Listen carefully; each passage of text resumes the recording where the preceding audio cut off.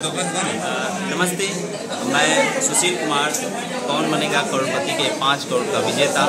आप सभी दर्शकों से बॉर्डर फ़िल्म देखने की गुजारिश करता हूँ। ये काफ़ी अच्छी फ़िल्म है, देशभक्ति फ़िल्म है और मनोरंजक फ़िल्म भी है।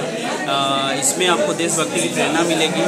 सभी ने काफ़ी मेहनत किया है बहुत प्यारी फ़िल्म है। आप सभी को गुजारिश है कि आप लोग ज़रूर देखें।